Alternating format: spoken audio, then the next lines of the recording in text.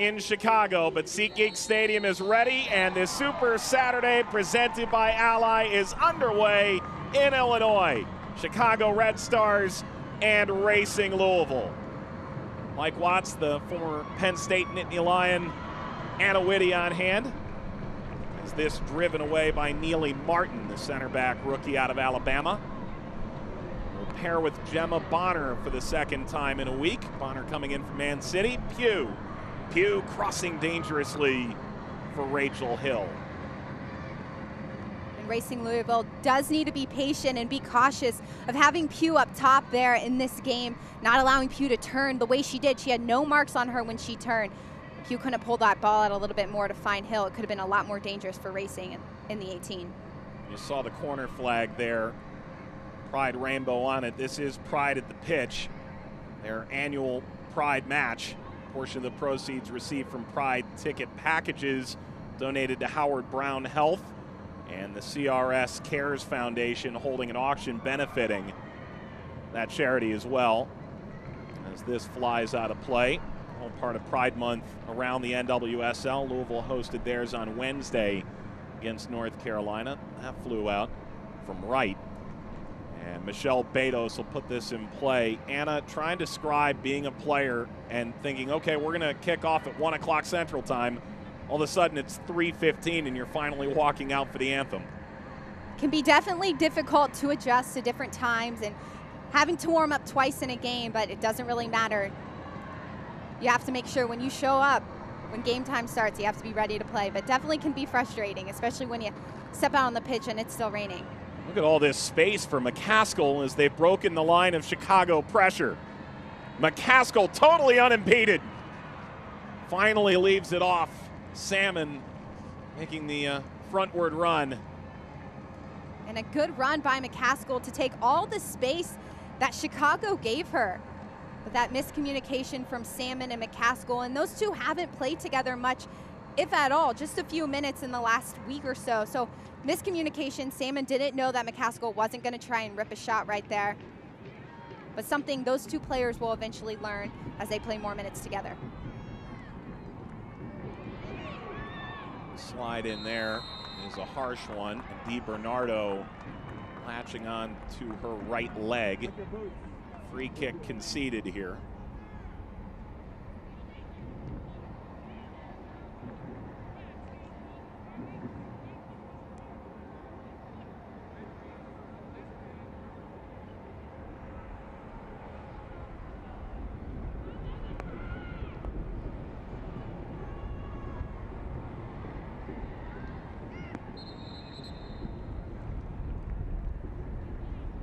Referee had not allowed play to start yet. Greg Dopka does the honors.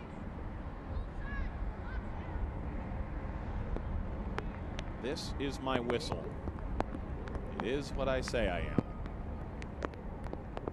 All right. Set piece for Tierna Davidson, who's one of three Red Stars in the 18 for the upcoming Olympics in Tokyo. Caught by Betos.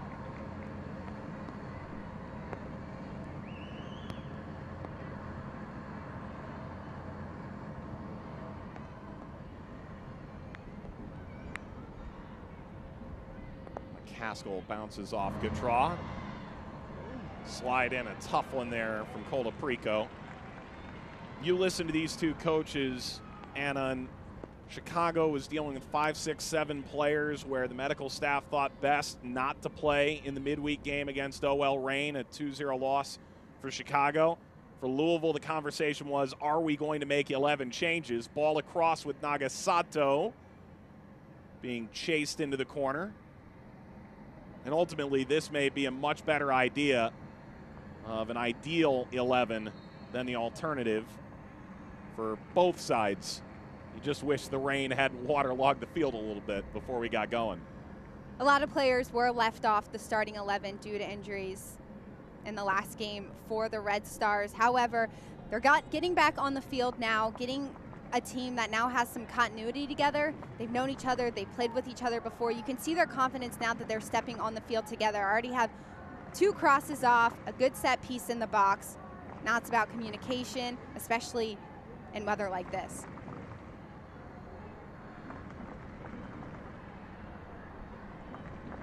Chested down and sent ahead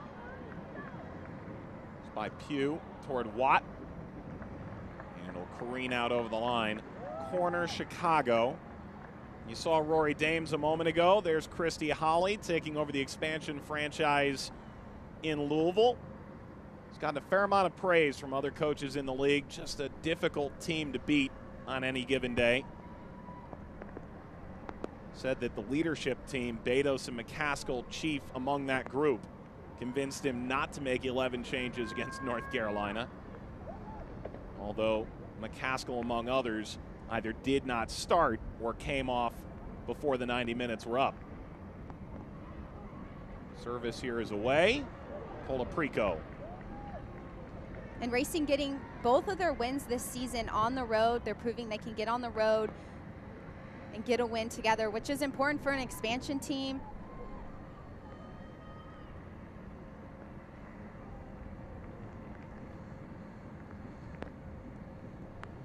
Because this is an unforgiving league. And both coaches explained that to us over the, the course of the last week or two that are involved in this game. Chicago's case, you go away to OL Reign, concede in the first minute. Rory Dames said it is very difficult to climb back into a match under those circumstances. And Christy Holly, having seen his side get walloped 5 0 at North Carolina and 3 0 at Portland is aware that lumps will come from time to time. It's just about learning from those things. He said after the match against North Carolina at home on Wednesday night, we don't celebrate losing, but we do celebrate growing as a team. So this will get out of play.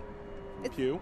It's a long season as well, so we are still in the middle even towards the beginning half of the season, there's a lot of, like you said, growing pains and trying to understand each other's rhythm, how one another move on and off the ball, meeting people for the first time. So there's still a lot of learning to do for a lot of teams around the league and a lot of teams like the Orlando Pride and, and to some extent the OL Reign have the privilege of having experience of playing together for a while. Include the North Carolina Courage in there as well. Comes back to Alyssa Naeher. Number one on the depth chart for the U.S. national team. Playing in this final game before going off to Tokyo. How about McCaskill? McCaskill, oh, Naeher got up there and swatted that away. There is something going around this league right now. Fishlock did it, Marta did it, and certainly McCaskill tried it. And well done by Alyssa Naeher to stay on her line and not be picked off by that ball. McCaskill picks her head up and she thinks she can chip Naeher there, but Naeher gets up and hits that ball. And McCaskill, what a good job of seeing and pressuring Naeher at the beginning of the game, seeing what they're working with with Naeher, and now that creates a set piece opportunity. And it is McCaskill driving, knotted at the near post, and it'll get out of play. Racing's had a difficult time starting up the attack for this team. So only eight and a half minutes into this game, McCaskill's creating attacking opportunities, a set piece opportunity right now. Louisville's got some players on the on the field right now they didn't have in their last game. So this should be encouraging to see, especially for Coach Holly. Ebony Salmon starting up front. Cece Kizer returns from a nasty knock last weekend. Didn't feature against North Carolina midweek. Emily Fox, Yuki Nagasato into the starting 11 as well, who can really thrust this attack forward. This will come all the way back to Kruger.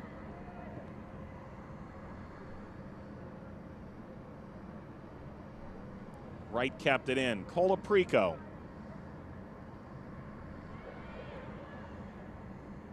Gautrat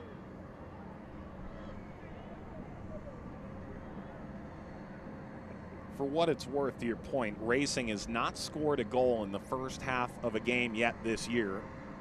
This their seventh. Chicago, seven goals allowed in the first 30 minutes.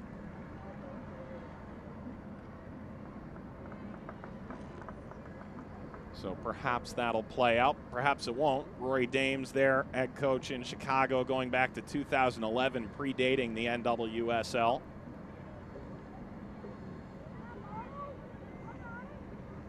Louisville, only 33 shots this season. the worst in the NWSL, but this could be the game where things change for Louisville. We see them, them in the attack more, and, and Chicago set, sits back a little bit more as racing comes at them. You saw Gorden and Davidson sitting back as McCaskill drove at them. So next time Louisville gets the ball at their feet, what will McCaskill and Gorden, rather Gorden and Davidson do? Meanwhile, it's a Chicago team that Rory Dames says the stats bear it out.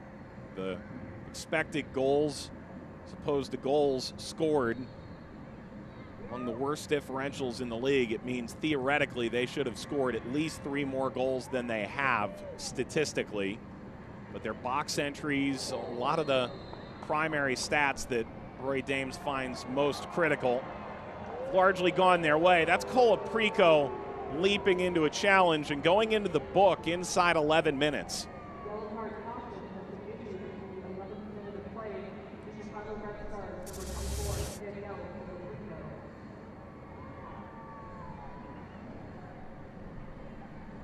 Colaprico trying to win that ball over Milliet. She gets her left hand into Milliet's face.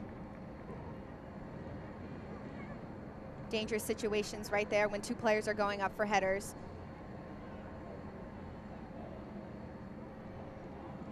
Fox and McCaskill over the ball.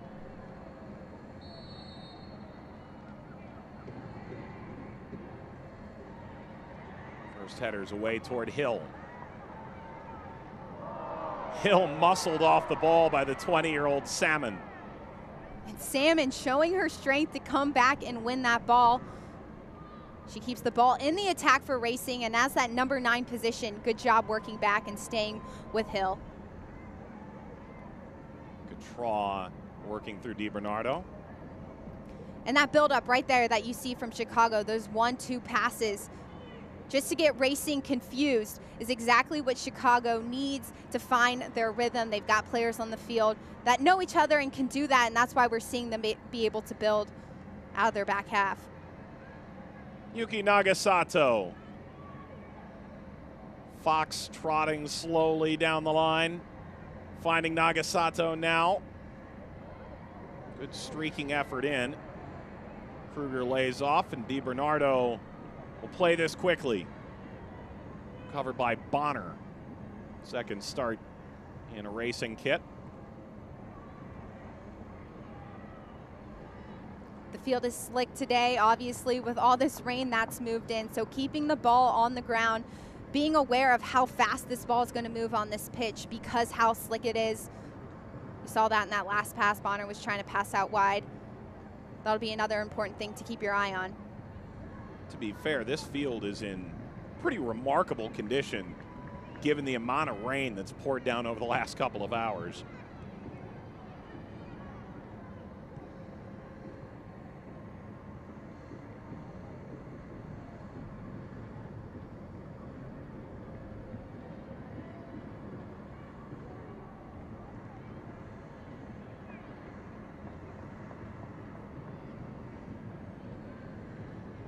Nagasato. The turn by Salmon. Skies up and the bounce, and Naeher brilliant waiting on that with Milliet charging. And Salmon doing a good job dropping off her line and finding that space in between Gautrat and Colaprico. There's a lot of a big gap in between that Chicago back line. So if Salmon can continue to drop up, drop off, receive the ball, and take a shot right outside the 18, that could be a dangerous spot for Racing to find a, find a goal.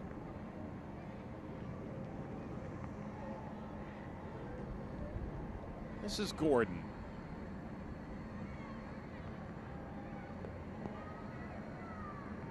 DiBernardo.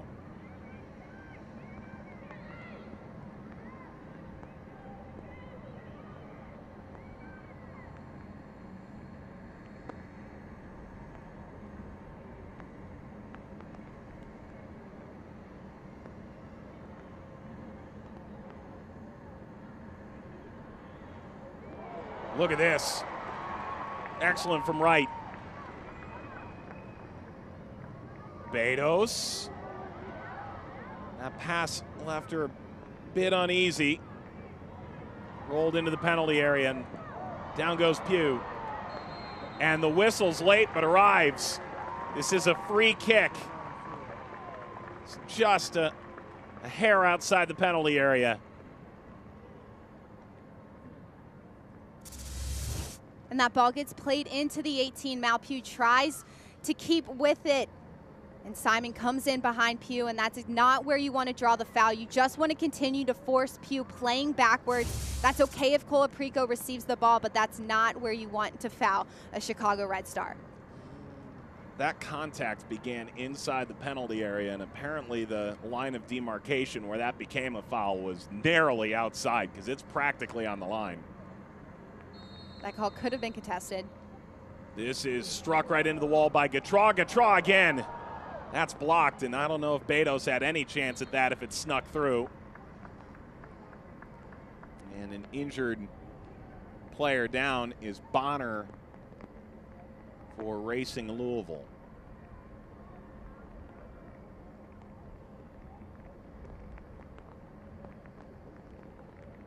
Bonner took that second shot by Gautrat right into the stomach.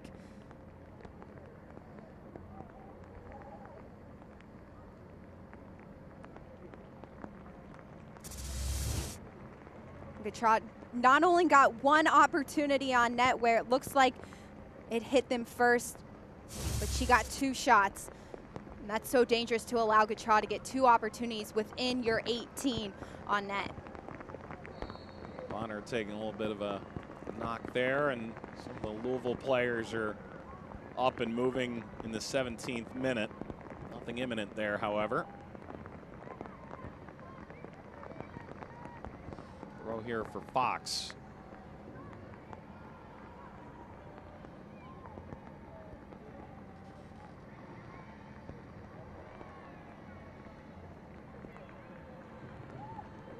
There's good news. It's 74 and raining. This might actually be somewhat refreshing.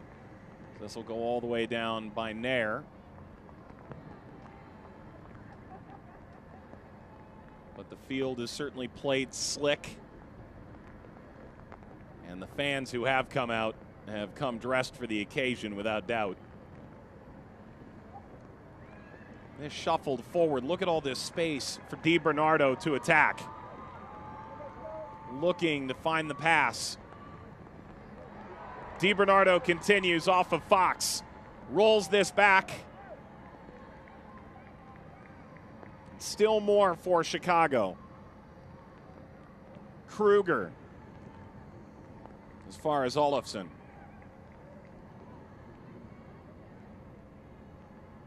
And Racing playing in that same line that Chicago's playing in. They're playing more of a 10 than a 6 position.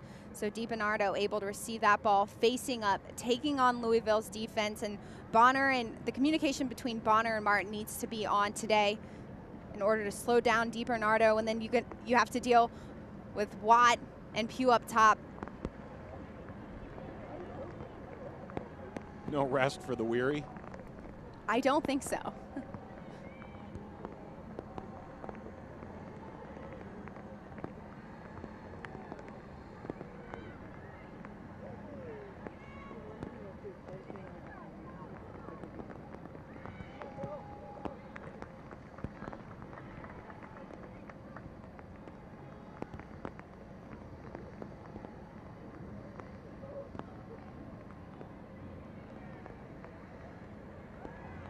Watt. This does roll all the way through and hit on the first time by Wright, who's been very aggressive getting forward. And Martin does not stay with Watt, allows her to turn away from the ball. Martin needs to keep tracking back with Watt there, keeping her outside, forcing her to the end line, not getting across inside. And that's a dangerous opportunity for the Red Stars to allow Watt to receive the ball and face up towards net. If I didn't know any better, I'd think Wright was playing as a left winger right now tactically a very good move by Coach Dames to move Gorden into that center back position. Gorden's been on the field all season long. She also has experience playing right next to Davidson and keeping Kruger and Wright out wide.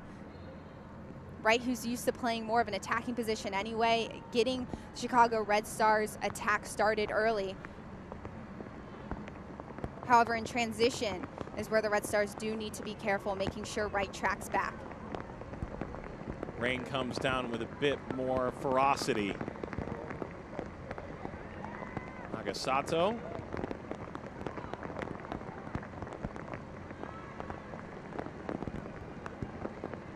Nagasato helped to win it back. And Milliet.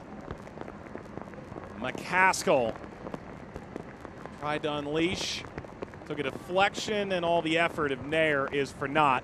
Corner, Louisville, 21st minute in this Super Saturday presented by Ally.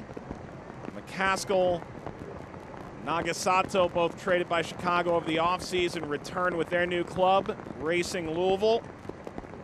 Sides are just one point apart in the standings, and a win for either side would, for the moment, get them out of this logjam in the middle of the table.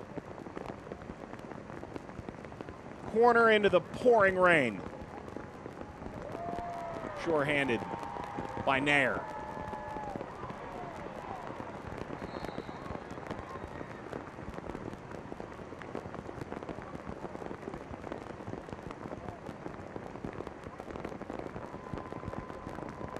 The rain is certainly coming down now. You can even hear it. Definitely changes the game. It changes changes tactically how you want to play the game. But if it's not cold rain, it's never a bad thing.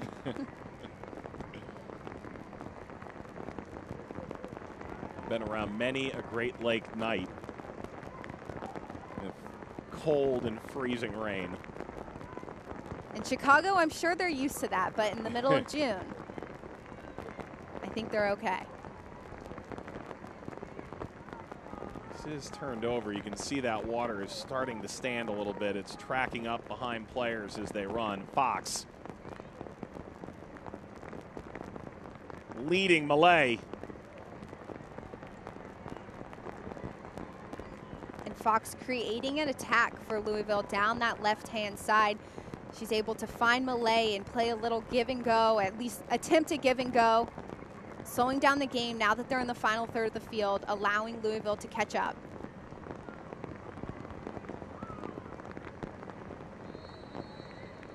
Well, there's a whistle here, and the offside flag had gone up.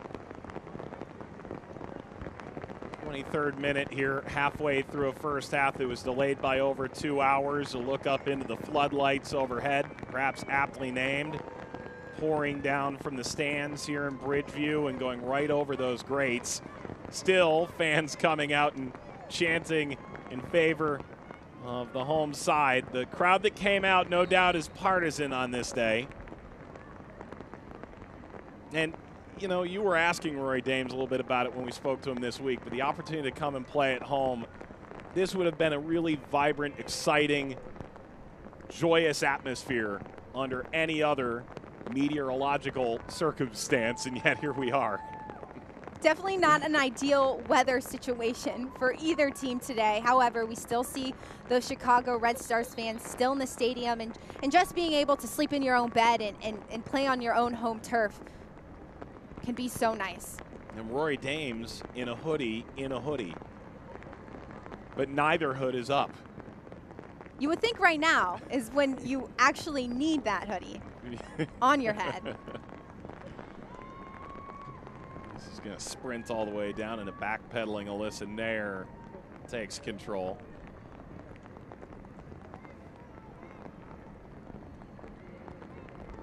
taking care of the ball is really important here. That ball will continue to skid on the field if you're trying to play those big balls over behind. You need to be careful with the type of weight you put behind that ball.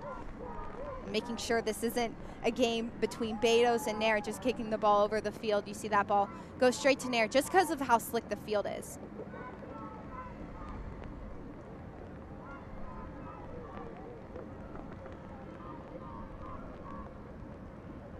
Watt lays off.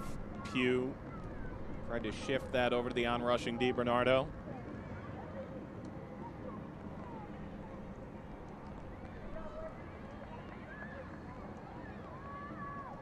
Haven't really seen much of Cece Kizer in this game yet. Getting to a more familiar, wide attacking area. Build up for Louisville of late has been consistently stymied. Gorden whacks at that.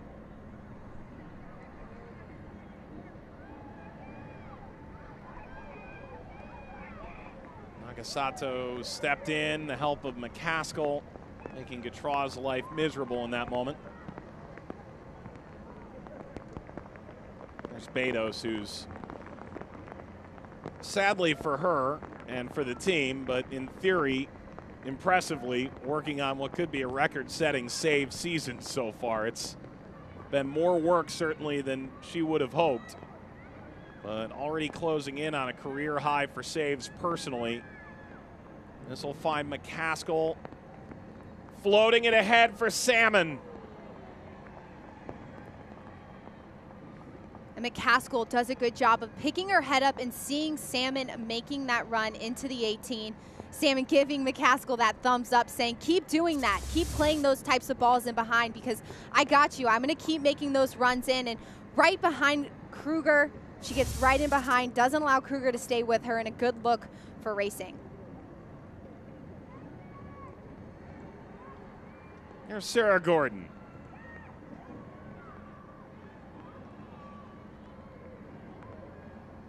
Muscled away by Erin Simon. And we saw the Red Stars able to find their forwards' feet in Pugh and Watt early in this game, but now we're seeing Chicago struggling to get that ball up to the top three players. How will Chicago adjust in this game to try and get that ball to the top three players?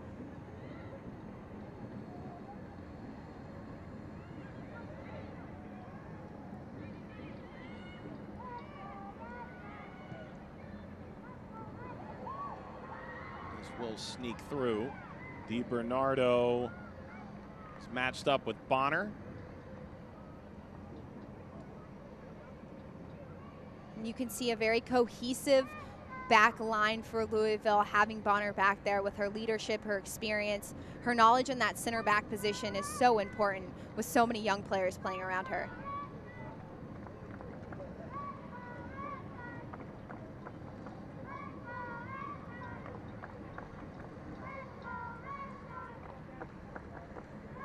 Kruger overrun, but maintained by Colaprico. Well shielded by McCaskill. You think about Bonner, and you've got Martin and Hendricks who've played a, a good amount. Kaleigh Riehl came in and started last game at center back as well. So Louisville's got some options there. You could argue Salmon at age 20, but also you're bringing in Nadia Nadim, who's a proven track record goal scorer potentially seven to 10 days away from receiving a visa and getting into the U.S. and moving forward. That appears to be a handball. It is. It's going to be a yellow card to Nagasato, who went to ground and. She's laughing. Is there any person who could get a yellow card and laugh like Nagasato does? and Nagasato, you could tell she she just with that slick field, it's so hard to get your footing. She tries to throw her head in front of it, maybe her hand. Ends up drawing the crowd the card and the handball. Due to these wet conditions, having to wring out your shorts and your jersey, and looks like the rain's finally lightened up in Chicago. There's a good article in Equalizer Soccer about how she spoke with Alyssa Naeher in Colorado in the final year of her deal at Frankfurt about potentially making the move over, and that was one of the impetuses that saw Nagasato come to the NWSL. This floats forward. Kruger diving header toward the middle of the penalty area for Kealia Watt. This will lead to a corner closing in on the half hour mark.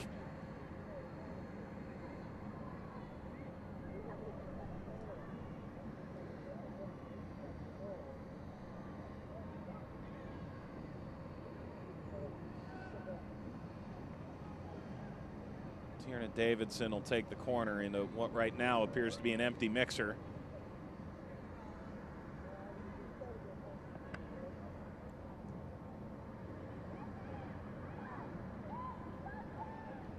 All the way through, driven back toward the six.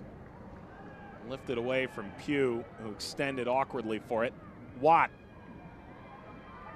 Watt with speed and the slide in, denying the end line. Another corner for Chicago. And Watt creating opportunities as she receives that ball, taking the ball in line. These set pieces are crucial for Chicago, and they're good at getting on the end of these. And Davidson has a great service into the box. The movement into the box, making sure you lose your defender to try and find the back of the net. Is how Chicago is going to put one in.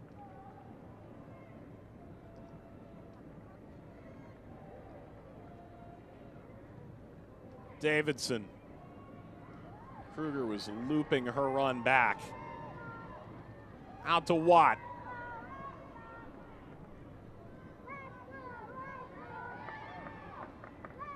By DiBernardo. Players slipping all over the place. Pugh rolls back. Krueger dummies. There's the shot. Betos lifting DiBernardo's blast over the crossbar. And DiBernardo calling off Krueger there, making sure that ball comes back to DiBernardo because she had such a good angle on it. And that starts from racing, not being able to clear that ball out of the 18. And Pugh puts a great ball into the box. DiBernardo calls her off, and that ball just goes right to the top. And a great save by Betos to get up and push that ball over the crossbar. And Betos doing a good job of saving Louisville there, but clearance from Louisville needs to be better. And look, you can look at Chicago, five goals scored at this stage of the season. Certainly doesn't impress, but moments like that are precisely what Rory Dames is looking for. And that combination play will eventually, theoretically, pay off. DiBernardo has such a fantastic shot as well, and putting her in that position at the top of the 18 to finish and strike one of those balls is exactly where they want her. Gorden just went to battle with Salmon and successfully fended her off. Otherwise, that would have been a foot race. And a foot race, frankly, I think everyone would be pretty excited to see. Two players that have really good mobility for a center back and for a center forward.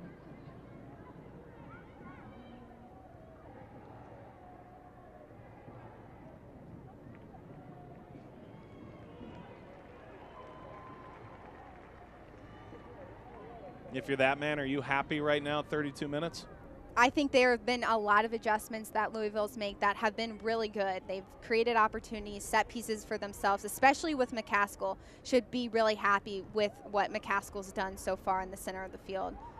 This is hit off the crossbar near the top of the post as well. DiBernardo again lashing at target. And this will ricochet into the penalty area and get lifted away. And DiBernardo in that position where she's so dangerous. She wins that ball from Nagasato and tries to find side netting and just a good position, a good shot by DiBernardo. Unfortunate. Chicago attack is starting to look more and more dangerous. Pugh is offside. Well done by Racing to be all on the same page there, stepping up, making sure Pugh was offsides. Louisville's defense has come out strong in this first half. They looked good at the beginning minutes of this game. Now, can they keep it up with these three top forwards in Pugh and Watt and Hill, who, who are so dangerous and are going to run at you in this game? Rory Dames there. Hat, but no hoods. Hoodie and the uh, rain jacket as well. Saw him before the game, sort of walking the field a little bit out in front of the supporters section down on the left hand side. This is Pugh. Mallory Pugh bursting into the penalty area and slip and sliding over the line and toward the boards. Simon staying with Pugh, keeping her outside. Well, and there's concrete there at the edge of the playing surface as well.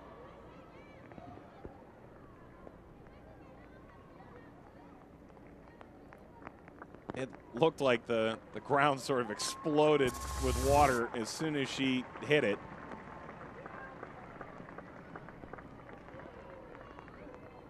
She fell into one of those puddles right outside the field. Simon tracking back with Pugh and staying with her. Pugh's such a fast player, especially with the ball at her feet, and a good job by Salmon to stay with her, stay touch tight, and force that ball out of bounds.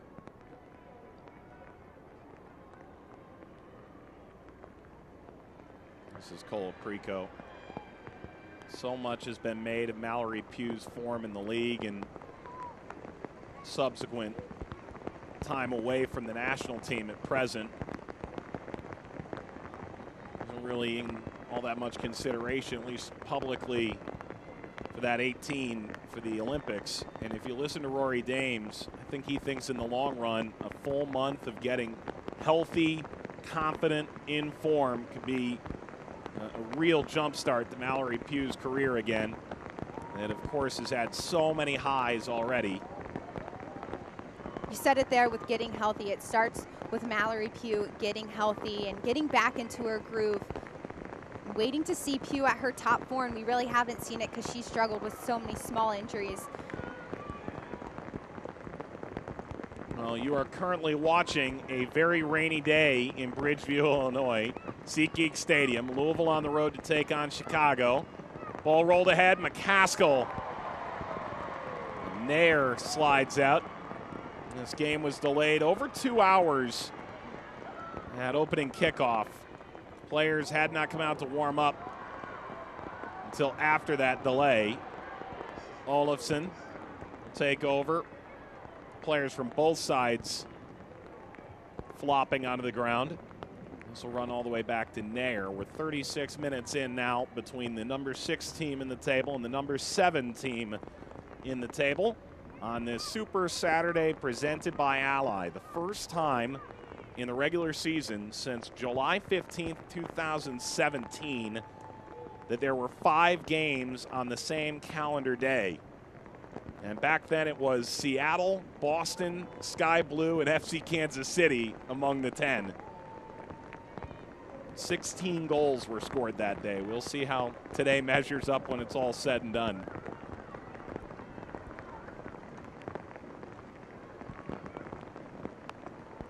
The league certainly looked a lot different in 2017 than it does today, additionally with additional player teams in the league as well.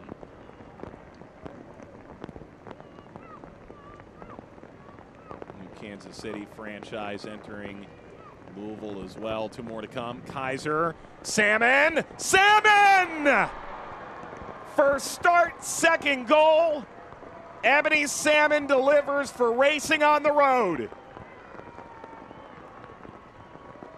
And Salmon drops back and to receive that ball.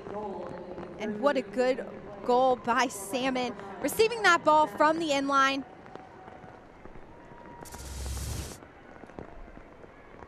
And Milliet does a good job of starting the build of this play. And Kizer, we haven't seen a lot in the attack, but a good assist, and she sees that ball already. Salmon in good position at the top of the 18. Doesn't need to take multiple touches. She sees right past Naeher. Good awareness of where she is in the box and where the defenders are around her. Christy Holly said that Ebony Salmon would sort of sneak up on on Christy Holly and sort of say, okay, if I beat you to that door, do I get to start on Saturday? I, it, was, it was constant, we were told. Little bets that she's trying to set up to create the opportunity to start. Does get that opportunity. And Kizer playing that more natural wide area provides the assist to the new number nine, Ebony Salmon. And uh, Louisville with a lead here. Their first first half goal ever as a franchise. And we could be seeing the makings of what could be a big part of the future for Louisville. What will be a big part of the future for Louisville is having Salmon in that nine position. And two goals already in the, this season so far. And her just awareness on the field, putting herself in the right positions. There was nobody around her when she scored that one. Came up and caught McCaskill at or above the shoulders.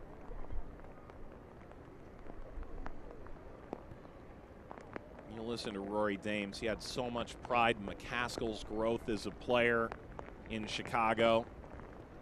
And a player that he says, like Nagasato, they do stay in touch a little bit during the Challenge Cup. They were texting back and forth a bit, but come the regular season, trying to be deferential to the club in Louisville. And certainly the players as well said, I'm always around if they need me, but I'll wait till the offseason. Certainly they'll share an embrace at some point upon their return after being traded over the offseason with uh, no bad blood. Here's Kizer finding Salmon a moment ago. And it just shows you the type of communication that's helping this team grow. There's more familiarity with Kizer and with Milliet there in the middle of the field, and that's where it started. Kizer made a run in order for Salmon to make a run. And as these players continue to play with each other longer, we'll see more, more goals like that from racing.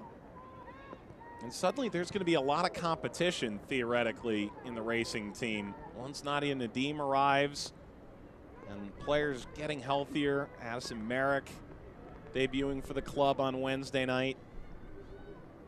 could realistically see this Louisville team really power forward into the Olympic break where they're probably the least impacted team by a major tournament this year. Oof. Well, you got to appreciate the effort. Slowing your feet early. got to be aware of that in these slick conditions. I don't know that there are studs you could have in your in your cleats that are going to fix that. This ball leading forward. Gorden did enough, and this is hooked away by Naeher. Salmon sprinting at Gorden's back.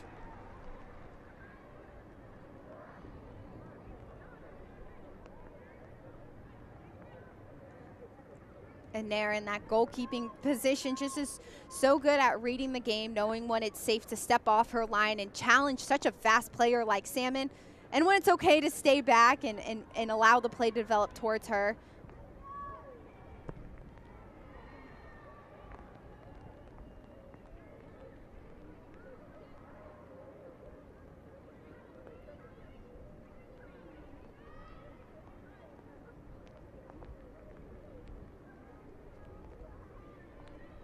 Nagasato battling here with Hill. Nagasato again. Second in the 2019 MVP voting in the league. We mentioned the number of assists pregame 17 over a couple year stretch with Chicago. All lined across. 14 of those assists were to Sam Kerr. that dynamic partnership. This will belong to Alyssa Naeher in the 43rd minute. Well, speaking of Racing's attack, you forget about Emily Fox, who plays in that outside back position, but she gets up so much and she plays in that wide spot. She gets those crosses in, and she will be a huge threat and a big part of this attack for Racing as she plays down that flank and helps build up play for Louisville. Davidson. A bit more direct here. That'll find Betos. And it's been fun watching Emily Fox gradually get used to the professional environment, right? Because when you're at North Carolina and you're almost on top of every team you play, it's easy to fire down the line with almost complete disregard for what's going on. Emily Fox is already capped for the national team and a player who is learning how to make the best of that position in this Louisville system and tactically as well. As she needs to know when she needs to drop back. And also, she's playing with players who are bigger and, and faster and stronger than what she played with at the collegiate level. So it, it does take a lot of you out of you to play strong against some of these bigger players, just playing smart. Run forward here from Milliet.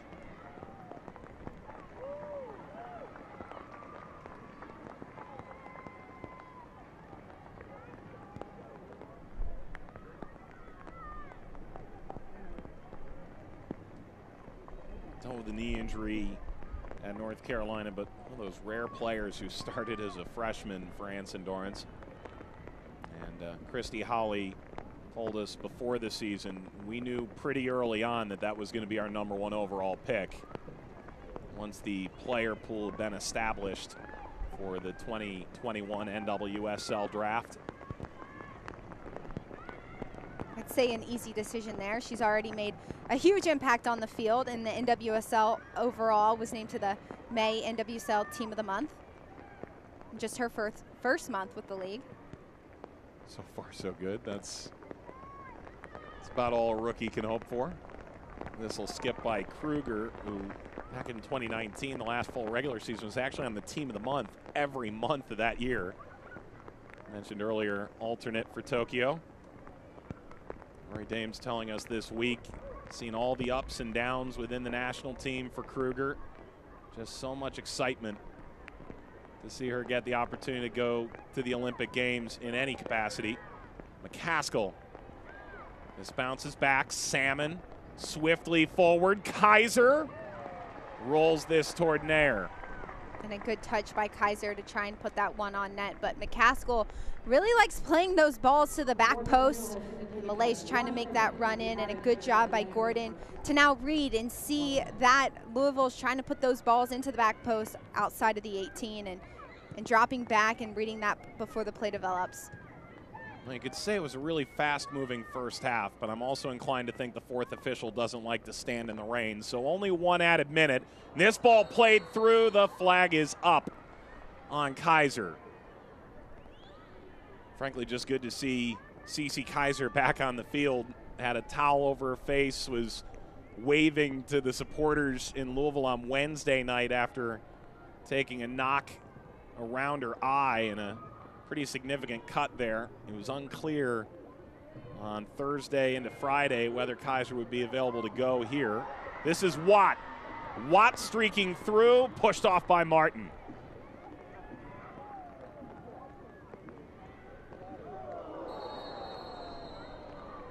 And the halftime whistle arrives. Ebony Salmon scores for Louisville. Side. Ebony Salmon over the ball. Greg Dopka, the whistle, and we are underway in Bridgeview. How much are you really willing to change things if you're Louisville? You, you do have a lead here at halftime. I think I, I I think you would stay the same. You want to continue to see. They only played 45 minutes together. You want to continue to see all of these players play together. They were successful in the first half. Watt shrugged off the challenge. Now Fox dives in again. Watt drives this through the penalty area, and Kizer serves that over Hill. Milliet in pursuit. Hill rolls. DiBernardo. Well, if you're Louisville and you aren't really looking to make a lot of changes, if you're Chicago, you'd have to say there were enough positives in the attack that, especially DiBernardo, you just want to keep keep on keeping on, I suppose. Continue after what you've been doing. In Chicago, pressing Aaron right up early. You saw her just in the 18. Kizer having to drop back and support her and, and cover her. Chicago's putting a lot of numbers into the attack earlier. Cece Kizer taking off McCaskill.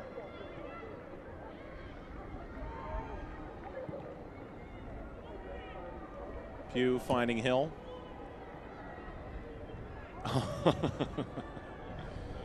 you can plan for most things, but that apparently is a uh, you got to dead spot on the field. You got to plan for those types of balls and then passing balls through uh, kind of a puddle where the ball just keeps skipping. It could either stop or never stop in these conditions. As a player, are you over the course of a half as you start attacking a different direction, cognitively trying to remember those areas, or is it maybe too much to focus on at any given time where exactly those puddles reside? Maybe a little too much to focus on unless there's one that's really bad. Then everyone's in the locker room telling everyone where not to play the ball. Pugh dangerously. Gautrat will let this run by. Picked up by Colaprico.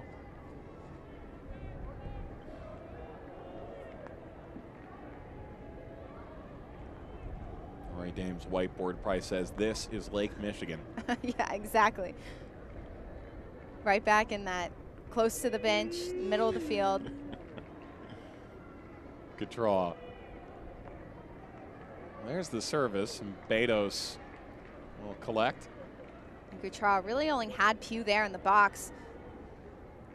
Simon doing a good job of staying close to Pugh, so keep swinging that ball around if you're Chicago. Not many numbers in the box to put that ball in. End up being Hill who got that service in, and that combination on the right-hand side with Gautrat could prove really vital to success in this second half for Chicago.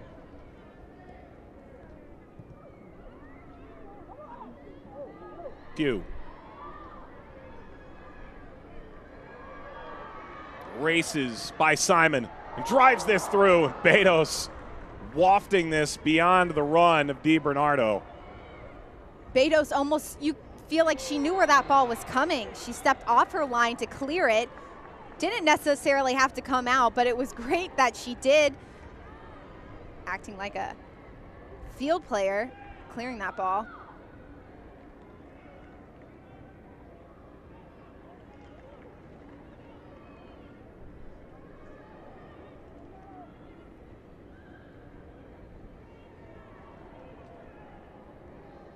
Watt. Thought she had isolated with Nealy Martin. And the supporting defense comes from behind. Hannah Davidson. Arin Wright. Kept this off the line, tries to chip around Simon. Good defense by Simon, allowing Wright to play that ball, but stepping in between Wright and the ball as soon as that ball is played. And Racing's defense looking good, especially their outside defenders staying with Watt and with Pugh and with Wright when Wright comes up into the attack. And Racing needs to continue to do that here for the next 40 minutes.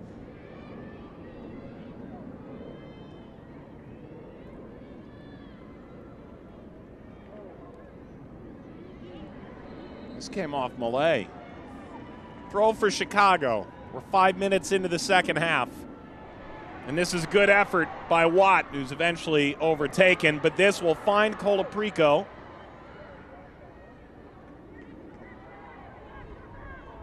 Room here for McCaskill to explore.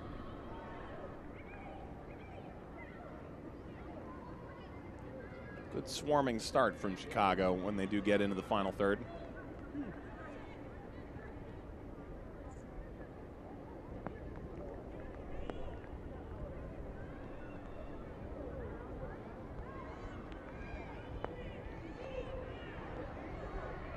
Run from Pugh, a lightning bolt down the left hand side, serving again, and Bonner this time. And Bonner cut a little bit in transition. Bonner's hips weren't all the way turned to the field, so that ball went out of bounds for a set piece. But whenever Pugh receives the ball, she's never going to cut it back. So Louisville, just get on your horse and start going with Pugh as she takes the ball towards the goal.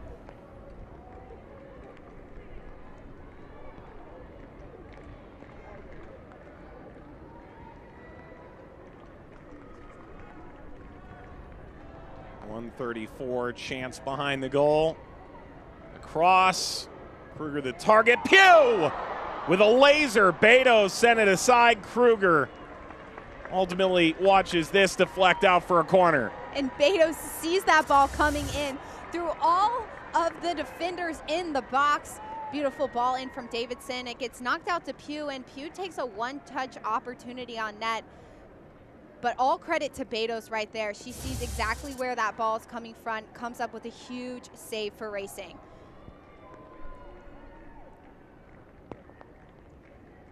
Is there an equalizer coming for Chicago?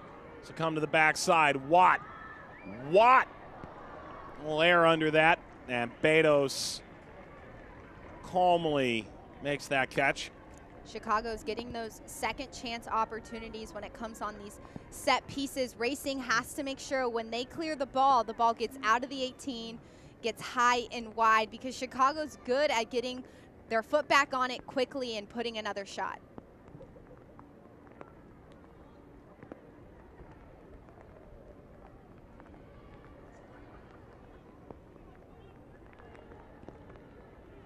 Updates elsewhere in this Super Saturday presented by Ally. Four games on Paramount Plus here in the U.S. and a game on Twitch as well. Gotham taking on OL Reign right now. Midge Purce is added to her account. Watt leading touch. Watt continues, gets to the end line, fires this across. Somehow kept that out. Pugh facing up. Pugh's always going to receive that ball and try and face up, and a good communication between Watt and Pugh to find that ball, penetrating through the racing defenders. And Simon just stays with Watt that entire time. It looks like that ball could have gone out of bounds, but a lot of credit to how Salmon is handling these attackers for the Red Stars today. Kealia Watt starting to really make an impact on the offensive end in this second half. McCaskill against Krueger. This will be a throw for Louisville over Rory Dames' dismissive wave. By the way, you can look over to the seats. You see the Canadian national team logo there, the Chicago Fire. The Fire have since moved to Soldier Field. The Canadian national team has actually been playing games in Chicago at this venue in World Cup qualifying. So it turns out the Red Stars are not the only tenant at present SeatGeek Stadium in Bridgeview. Three other games tonight in the NWSL on this Super Saturday presented by Ally. North Carolina, Portland, 7 Eastern and 6 Central. Whistle blows there. Houston, Orlando, 8 o'clock Eastern, and Kansas City, Washington will close out the evening, 8.30 Eastern time. That's a red, a second yellow for Colaprico. Colaprico is sent off here in the 55th minute. Chicago will play with 10. Colaprico, you can see so disappointed walking off the field on that one, but when that ball is played in from Milliet, Colaprico keeps her hand on the racing player, and, and, and instead of trying to run with her, she draws a big foul, pulling down a racing player and, and draws a second yellow.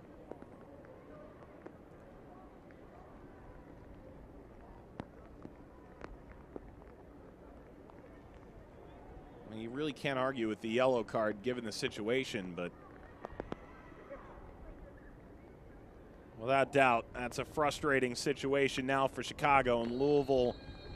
Try and get this road victory. They're looking for insurance now. McCaskill. Ball bounces down in the six, and there's the goal. Nagasato, the former Red Star, scores in her return to Chicago. 2 0 Racing. And McCaskill does a good job of playing that ball in behind the Red Stars defense, and Nagasato does not stop. She follows that ball as soon as it pops right back out. Nagasato just continues to follow that run, and Davidson can't clear it with her head, and Nagasato just needs to put her left foot on it, get it right past Naeher with a one-touch opportunity, putting Racing up by two. Nagasato's first goal in Lavender, 56th minute.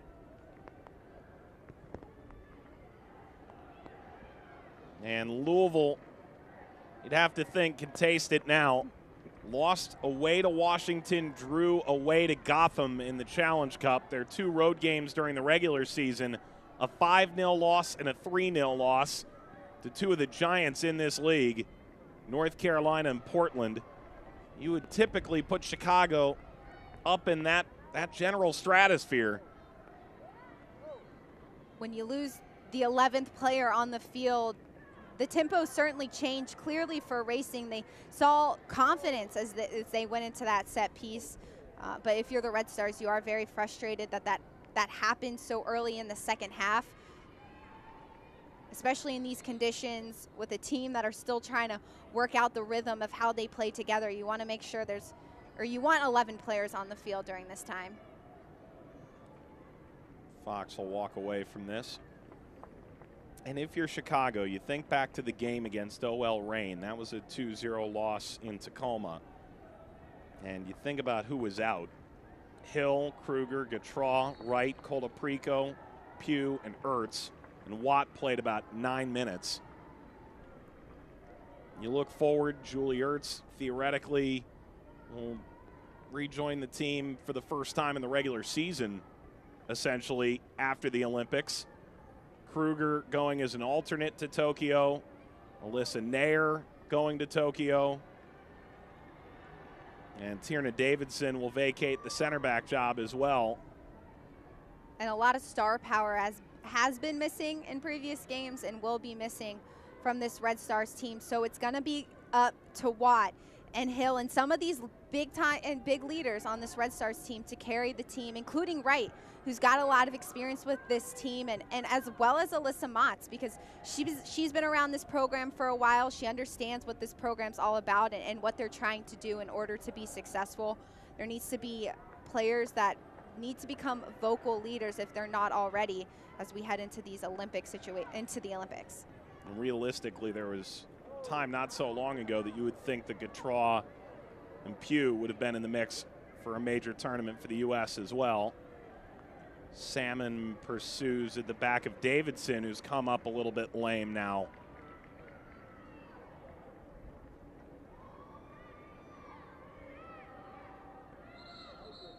They're going to stop play, and Tierna Davidson,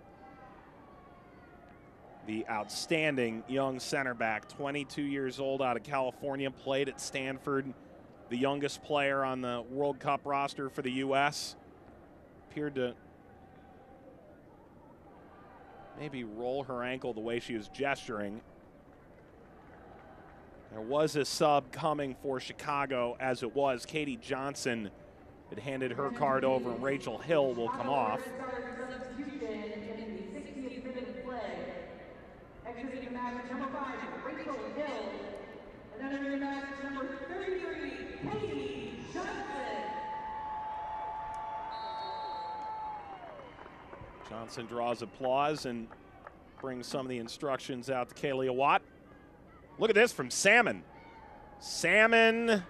referee looked at that and instantly threw his hand up. Nothing doing.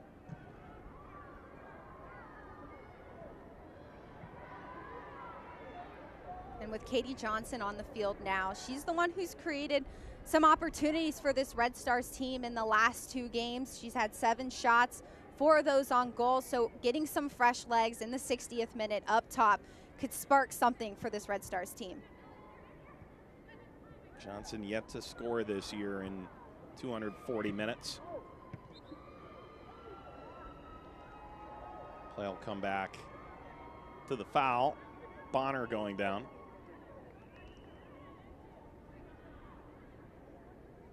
Louisville took the lead in the 38th minute. Ebony Salmon's second for the club. Yuki Nagasato scored in the 56th off a set piece that corresponded with his second yellow to Danielle Colaprico in the 55th.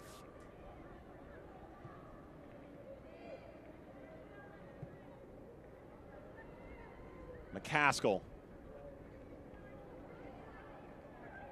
Milliet catches up. That took an odd carom, and there goes McCaskill streaking in and sweeping it home.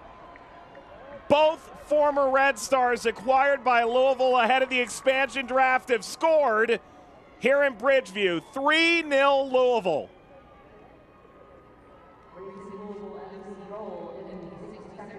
And this is a Louisville team that you see, they build up the play and they see so much confidence in themselves and each other to put those opportunities into the final third. McCaskill streaks down the field as Milliet takes that ball in line and McCaskill far post left completely by herself. Krueger doesn't track McCaskill back. Naeher does not see McCaskill coming into the 18 and McCaskill just does such a good job of being relaxed, being calm, and just redirecting that ball right into the net. First goal for Racing Louisville for Savannah McCaskill, the vice captain of the roadside today. All the way to the end line. This will be a corner.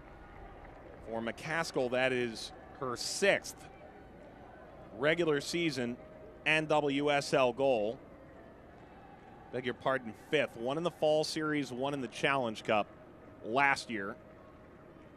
Three of those were with Gotham as a rookie back in 2018.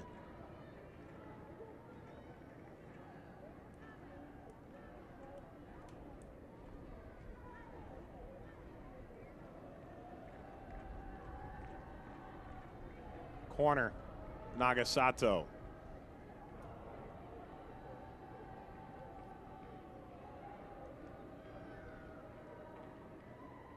Bonner shouting for the offside flag. It never came. Driven ball forward with numbers and right. Out beyond Gautrat, unable to get the finishing touch. And I like the Red Stars, what they're doing, coming down the field and not taking any time to start building up, putting opportunities in the box. A set piece created by Watt, and then Gautrat and Wright getting into the box, trying to get on the end of it. So we're not seeing a Red Stars team giving up. We're seeing them dig, dig deep and, and continue to fight here. This is actually the final piece of the trade to avoid an expansion draft selection off the Chicago roster. Mina Ekic was the fifth overall pick in the NWSL draft, a natural first round pick of the Chicago Red Stars. Nagasato, McCaskill, and Ekic essentially were traded for Chicago to not select a player, rather, have a player selected by Louisville in the expansion draft.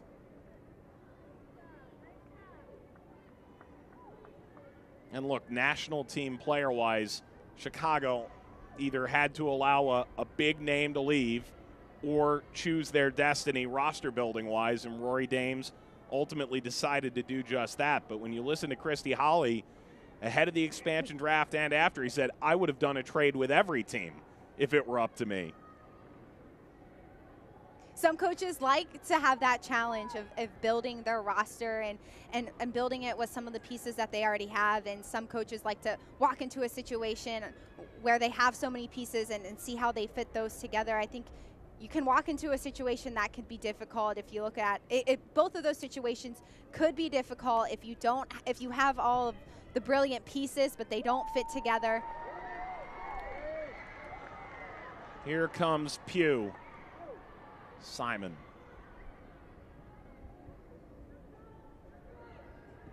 Nagasato driving this in behind. Salmon. Here comes that 1v1 again. Gorden backing down. Salmon finds the middle. Salmon! Waved at by Naeher. That's off target. And Salmon allows that the Red Stars defenders to recover. She takes on Gorden, and then Krueger gets right behind Gorden just in case that ball Salmon gets loose. And Salmon just cuts inside and beats both Gorden and Krueger. We're seeing what Salmon brings to the table with her brilliance in these 1v2 situations. Not even 1v1. And Salmon just, she didn't get that ball on target necessarily, but she did get that ball. She did get a shot off that wasn't deflected, and, and Salmon just such a talented player up top for Louisville. Arin Wright came off there, and in comes Kayla Sharples, who does have experience collegiately at Northwestern as a center back, has played some outside back as well. Chicago playing with 10 since the 55th minute. Danielle Colaprico received a yellow in the 11th and another in the 55th. Was sent off. Louisville led at the time by a goal. The ensuing set piece scored by Nagasato, and then McCaskill scoring a few moments later in the 62nd.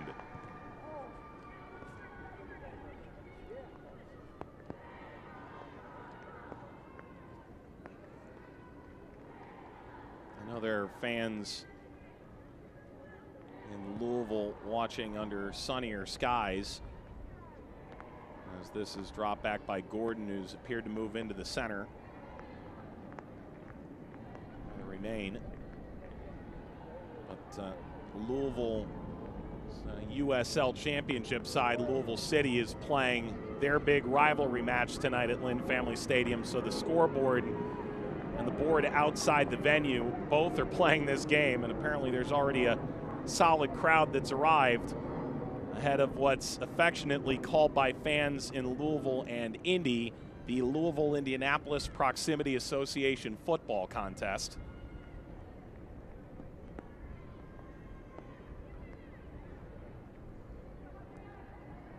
As these fans braving the elements here in Chicago to see it in person.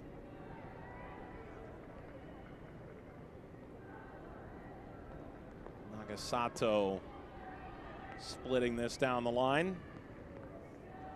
First intervention for Kayla Sharples.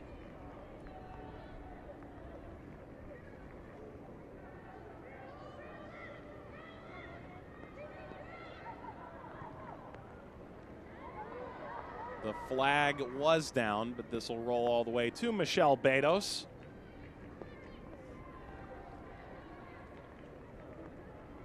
Look, it, it's tough being goalkeeper for an expansion team. That that that's been clear. You know, you think back to Alyssa Naeher in the early years in Boston, was shelled night after night and made so many clutch saves for the Breakers early in her NWSL years. Betos has been the consummate captain for Louisville under really difficult circumstances. Has actually, in terms of expected goals, led a defense that's allowed six fewer goals than statistically anticipated. That is far and away the best in the league. And Beto stepping into this situation with an expansion team.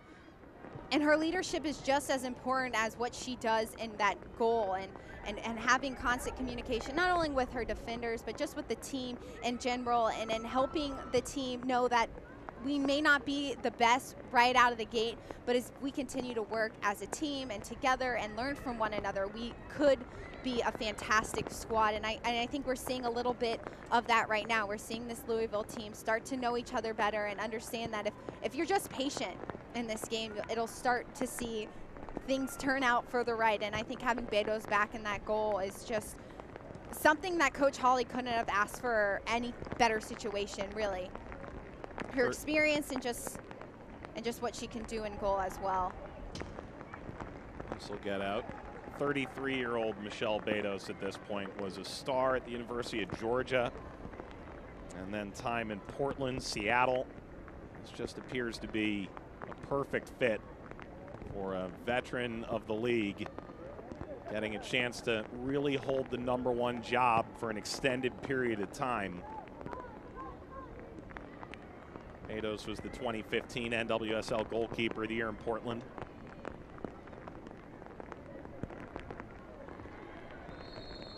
Offside flag is up here. Our fan cam brings us some priceless moments of the match. They're brought to you by MasterCard. And there's the view in the bleachers, waves, a couple of beverages, and plenty of smiles here on a rainy, wet afternoon in Bridgeview. Looks like the weather's lightened up a little bit here in the second half. We're seeing a lot less rain than we saw. It was coming down in the first half, especially there towards the latter half. It was coming down all through that two-hour stretch where we were waiting to get a timeline. Yes. When might we see the players out on the field? And some of the fans that came out at bus to the stadium were welcomed through Gate D to get them out of the parking lot as well. This is going to be Davidson. Watt. Watt lashing across to the back post, and it's wide. Sharples. And Watt makes the best out of a tricky touch there. Watt keeps that ball in bounds and is able to turn her defender there. And good job by Sharples to make that run into the box. She's left unmarked by a Racing Louisville defender and, and creating chances. And Watt doing a good job of leading this Chicago team and stepping up, putting those balls in the box, racing down this racing team and in keeping Chicago in this game when it comes to just putting balls into the final third and in the 18. Change here for Louisville. Ebony Salmon scoring in this one. And it came back in the first half. First first half goal scored by Louisville just gets by the outstretched paw of Alyssa Naeher. Salmon left unmarked in the 18 by the Red Stars. Puts that one side netting, very similar to her first goal when it when it comes to placement of the ball and with her first touch. And that ball comes in from Kizer. It's a lot of confusion. Uh, confusion, I guess you should say, when it, it, was raining so hard for the Red Stars, but the Red Stars weren't able to stay intact as a four, and the communication was a little off there on that goal, but nothing to take away from Salmon's goal. Beautiful shot. Rolled ahead, Pugh. Tight angle, Bonner.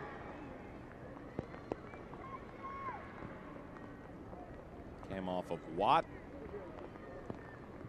Newcomer here is Sinclair Miramontes. Fourth appearance, third off the bench.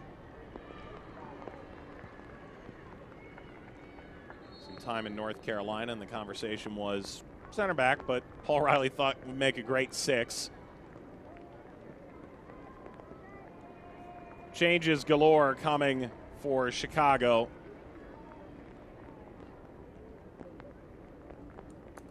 See, Gautrat has already come off. Kealia Watt as well. There's Nikki Stanton among the three coming on. Back number 13, Morgan Entering number 15, Mackenzie Doniak will come in up front. Second substitution for your Chicago in the 75th minute of play. Leaving the match, number 10, Vanessa DiBernardo. Vanessa DiBernardo comes out, and how different this game could have been. Two really good opportunities. And you'd have to argue it would have been tough to finish them, but if she does, those are the momentum changes that can completely alter how Chicago's likely to feel coming out of this game.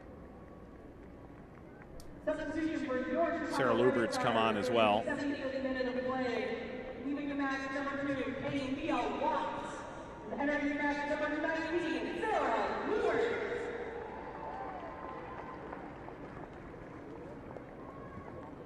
So Lubert and Doniak will help lead that front line. Stanton will try and settle the midfield. That's Bonner for Merrick. What a story Addisyn Merrick is. There's a good article in the local Louisville paper about Merrick's return from a back injury. There were genuine concerns she wasn't going to play a minute this season, and about two, three weeks ago, got the thumbs up that she could return fully to training and potentially get back in. Julia Ashley has come on as well, so pretty a notable statement of intent at this stage with Chicago down to 10 and Louisville up by three a lot of changes on both sides of the field. We could see a different game when it comes to whatever happens ahead of us here for the Red Stars. They really need a player to come in on this pitch, Lubert, to replace what Watt's been doing, to keep running and, and to keep creating for the Red Stars.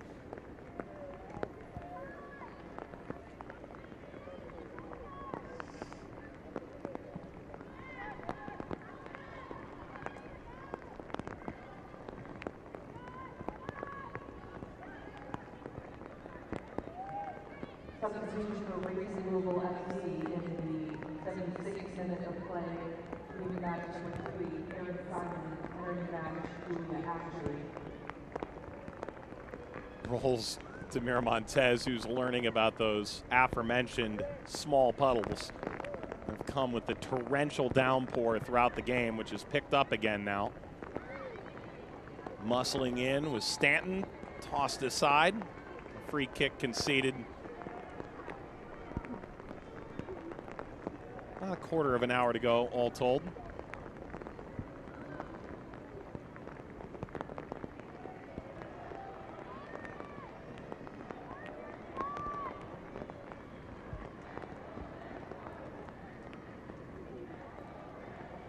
And a good look by Krueger to put that ball in the final third into the box. Lubert just didn't know that ball was coming in and was too touch tight with the defender to keep that ball in bounds.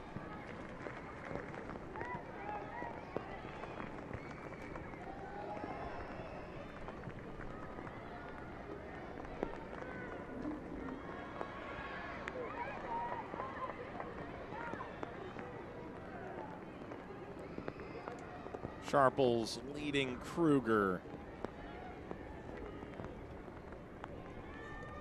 Appears to have picked up the captain's armband late in this one.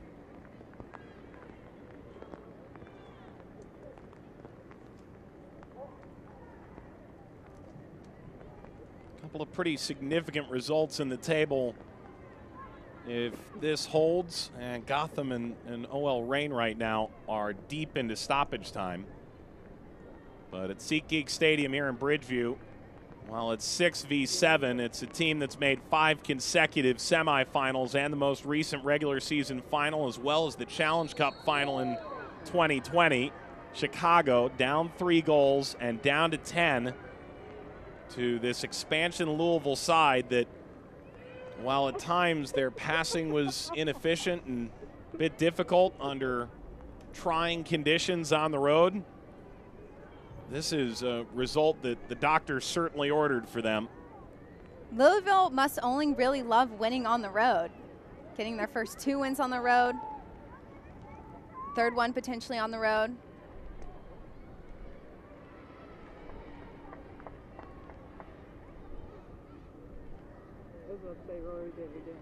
Rather, two losses on the road. now they're getting it. There going. we go. There we go. Slowly to Betos. And it's tough. I, it, you, you think about going to Portland and Chicago and North Carolina, and if you're Christy Holly, you're trying to turn every result into a lesson of some kind. This is a team he built in theory with a chip on their shoulder, individually, collectively, in an organization that in Louisville had seen the USL championship side only get the conference finals every year of their existence. And you're seeing this team start to gel together with the international players that they've brought in, players like Merrick starting to return from injury. Realistically, the Olympic break is starting to look like a really rosy time for a Louisville team that's going to enter that stretch clearly above the playoff line. And Louisville will face teams that will lose a lot of players. So it'll be a good test to see kind of how they work against certain teams and whenever potentially other players are ever lost from other teams. But I just think it's it's good for Louisville to be able to get on the field with teams that aren't at full strength and continue to work out Kingston. But we're seeing compared to the last game Racing played, this is leaps and bounds of an improvement when it just comes to the fluidity of the game and the knowledge of how one another work. I think McCaskill's gotten herself on the ball, even though Louisville hasn't possessed a lot of this game. Whenever it has been possessed, it's been by McCaskill, who's done a good job of distributing the ball and, and keeping the ball for Louisville in, in tricky situations. By the way, announcement there over 2,600 showed up on a day where I wouldn't blame anybody for not scanning their ticket at the turnstile.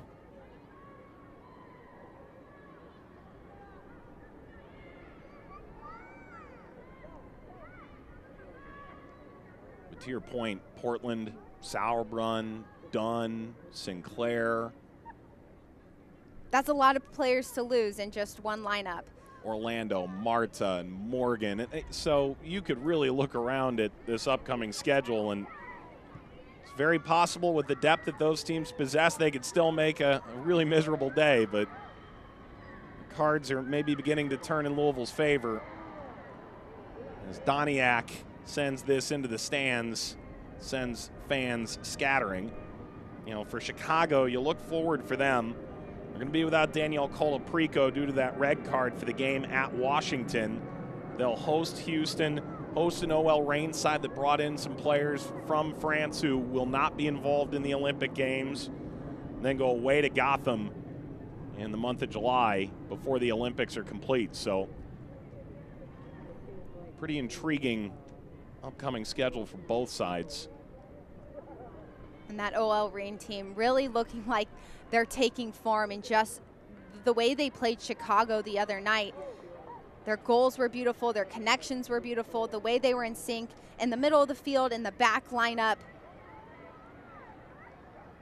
kind of hitting their stride in the same way, you know, in, in the same way in some instance that, that Louisville is as well. And and then comes the proof that you can never trust anything in this league because Rapinoe, Lasimere, Marozsán, Fishlock all started.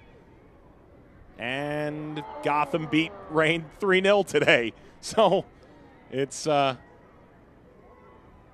it's quite the changing landscape. That was a pretty rough fall for Pugh's back up. And we and if we go back a few weeks ago when Chicago played North Carolina, Chicago rather Chicago mm-hmm. dominated that game when it came to possession and, and, and winning that game one to zero and it really didn't allow North Carolina to do much of anything in that game. And then the other night we watched Louisville, Louisville play North Carolina, and North Carolina dominated. so it just it just goes to show you how crazy this league really is and how each game is just so exciting to watch because you really don't know what's going to happen. No, this is a fascinating game of whose line is it anyways, where the points do matter. But right now the results are just simply all over the place. There are three more matches coming up tonight on this Super Saturday presented by Ally. North Carolina and Portland is less than an hour away from kickoff. Kansas City and Washington, Houston and Orlando playing later on in the evening.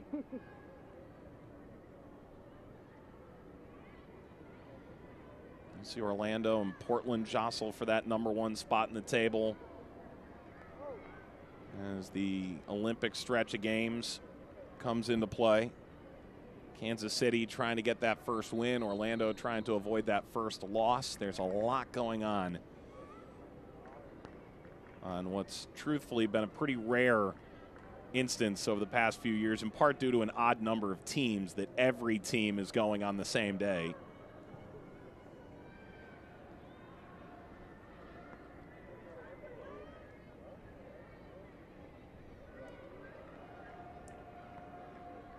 Ashley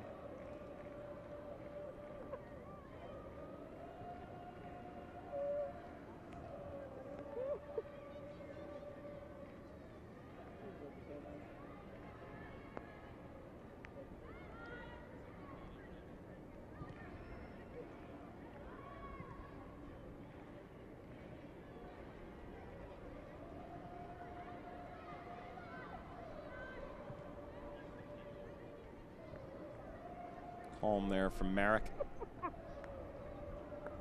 And you see Fox right there. You're right of your screen now, but Fox is kind of playing in that central midfield position now that McCaskill's off the field and and, and seeing Coach Holly could be trying to see what Fox could do in that position.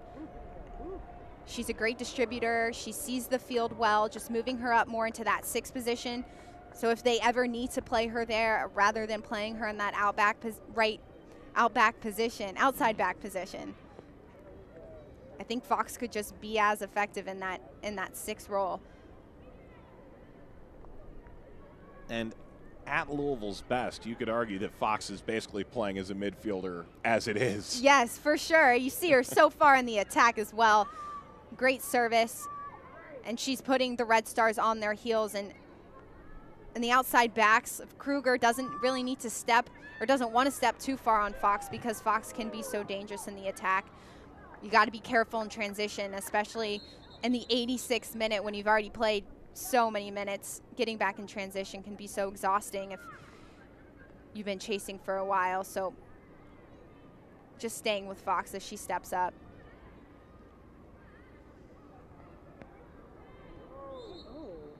There's a push there from Nikki Stanton, who returns to the NWSL after a stint overseas in Norway. Left in January 2020, six years in the league.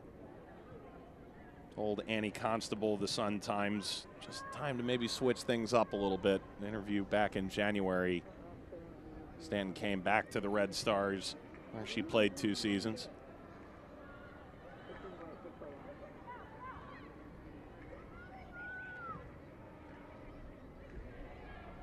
Lubert. Lubert.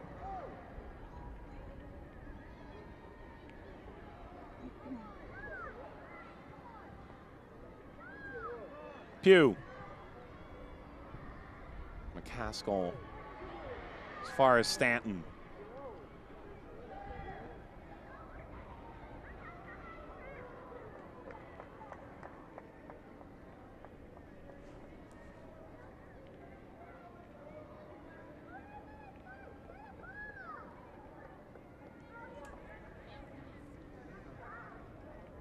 Coach Dame said he wanted to see Stanton and Doniak playing more minutes.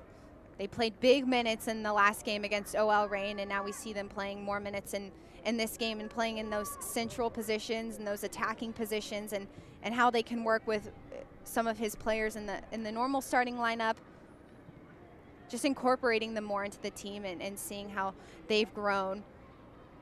That was part of the conversation going into the OL Reign game where it's okay, three games in a week, really hot temperatures for the first two. You had to explore your depth a little bit. Perhaps a difficult game to put players in for the first time this year for their first start or first 90 minute performance, but needed to see Lubert get on the field.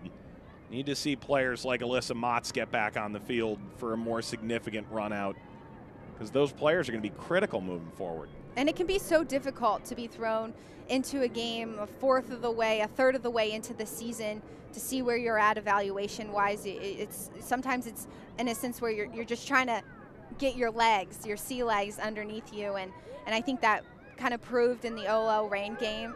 Coach Dames said he thought they had okay performances, but it's hard stepping into that role as, as a as a player expected to play a full 90 and and not really having a lot of training time is, sent away by Makenzy Doniak in a short week. How do you get the best out of your players under those circumstances? He felt like in the end, given those circumstances, maybe as well as players could have done in that challenge. And today, just an odd day, really, for both sides. Well, the weather affects it as well, and you, mm-hmm. you even saw some of those puddles in the field, and and just the style of play. You kind of have to change how you play when it rains, like it did. You, you, you play in a game that's delayed.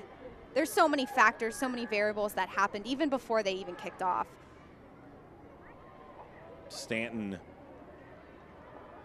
is involved there, and McCaskill's going to glide right by. Advantage played for Louisville into stoppage time.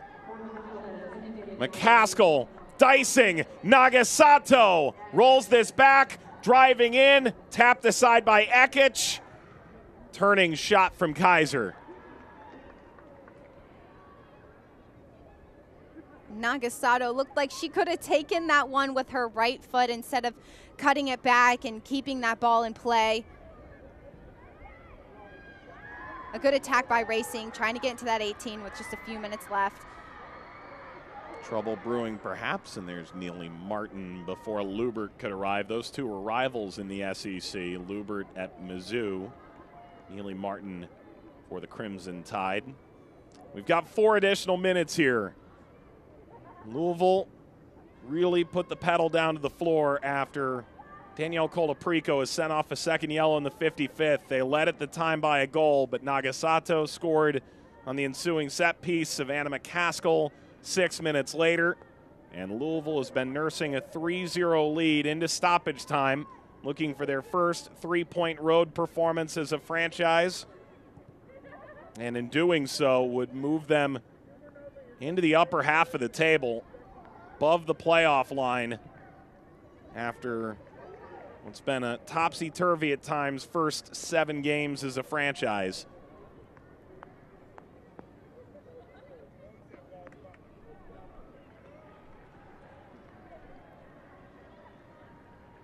Could be two wins from three. You could also argue it's two wins and three losses in their last five, and the combined results were 10 0 the other way.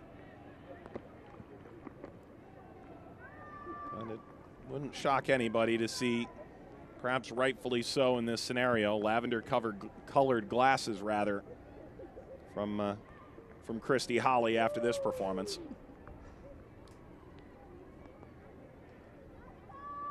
Yeah, Coach Holly has to be really happy, especially with the amount of minutes some of the, these players have played all week, especially from Malay. I think Malay busted her butt in that North Carolina Courage game, and she was from box to box, and Malay comes back into this game and, and really just – I think having help up top really helped Malay not have to run. She had Salmon up top, didn't really have to chase with her up there, but – and Kizer was back in the game today as well. But credit to Malay playing some big minutes from this Louisville team the past few days and and helping this team out here today.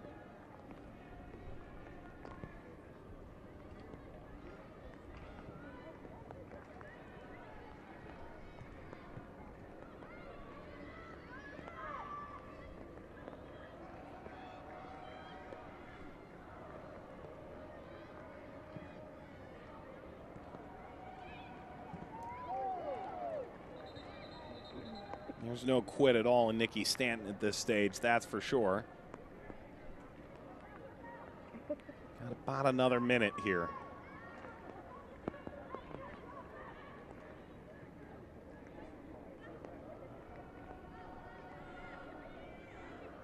And you and I have seen teams down three, down a player late in the game, not getting stuck into challenges. There's not a free blade of grass in Bridgeview when Chicago Red Stars are playing. And having a player down, especially for the majority of the second half, is just so hard. There's so many players that you need to cover extra space to make up for that lack of a player. You could tell the Red Stars are, are, are doing a lot of chasing and, and trying to pass as much as they can. Prideful bunch.